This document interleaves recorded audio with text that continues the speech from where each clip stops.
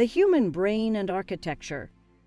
Someone once said that architecture is 99% invisible. The structure and durability of the building are the results of a carefully planned set of supports and construction methods. In this sense, architecture is a metaphor for the brain. While the hidden design is spiritual, the structure is physical. Without sufficient support, a building will eventually give way. A stressed mind will experience the same repercussions if it is not given the necessary care and attention. You can tell exactly what a building is made of, even if you can't see the internal structural supports. Having our energy and inspiration drained by a chaotic environment is a well documented fact. When the pandemic hit and everyone was quarantined inside their homes, this became painfully obvious. As they were constantly exposed to the same surroundings, they gradually lost their enthusiasm. Some people believe that negative feelings, such as sadness, can become trapped in a given location. To put it another way, this is what we mean when we talk about stuck energy. In order to release these pent up feelings, many people have turned to space clearing, a form of ritualized meditation. Services for clearing space. Practitioners of Feng Shui and other New Age religions believe that clearing the energy in a room through ritual is an effective way to revitalize the area.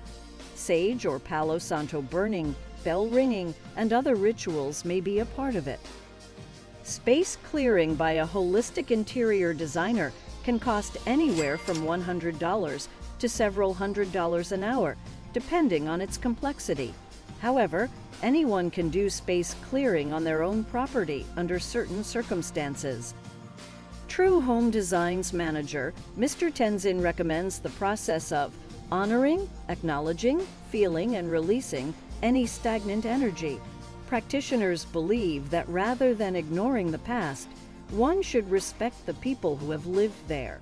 Burning sage or Palo Santo is thought to release negative or stuck energy.